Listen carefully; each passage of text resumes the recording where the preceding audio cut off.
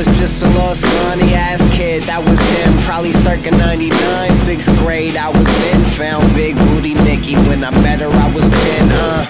And maybe she might have been a little hush, but I walked around with her, acting like I didn't know it. Cause she had boobs and shiny lip gloss, and I heard she was the one if you want your tip boss. So, PE while everybody went to swim. We were making out inside the locker room in the gym. She pulled my trunks down and she grabbed a hold of him. It was fucking rad till my fucking teacher walked in. You,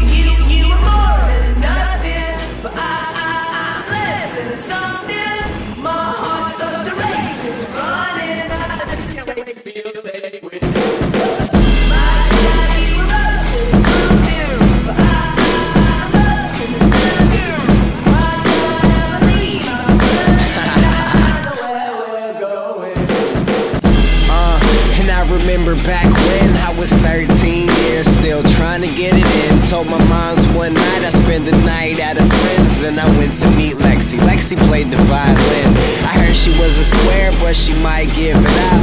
I just bought some tree, thought I might twist it up. She was down for it all, said, Where you wanna go? I said, Back to my crib. She said, Is anybody home? I said, Bubs. But I think she fell asleep around 10, so we snuck back, hoping she ain't hear us walk in. She gave it up an epic win. It was fucking rad till my fucking moms walked in. You